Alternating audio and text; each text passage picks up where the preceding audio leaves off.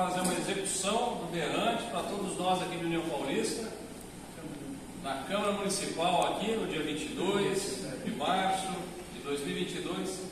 Solta a garganta, Não esquecendo que a Val da Berranteira, a Pantera Negra da Estrada de Curupira Campinas, junto com vocês aqui, vereadores. Parabéns. Gente trabalhadora, gente que trabalha, Deus pé no chão e é a favor da sociedade. Faça isso, porque Deus te dá sempre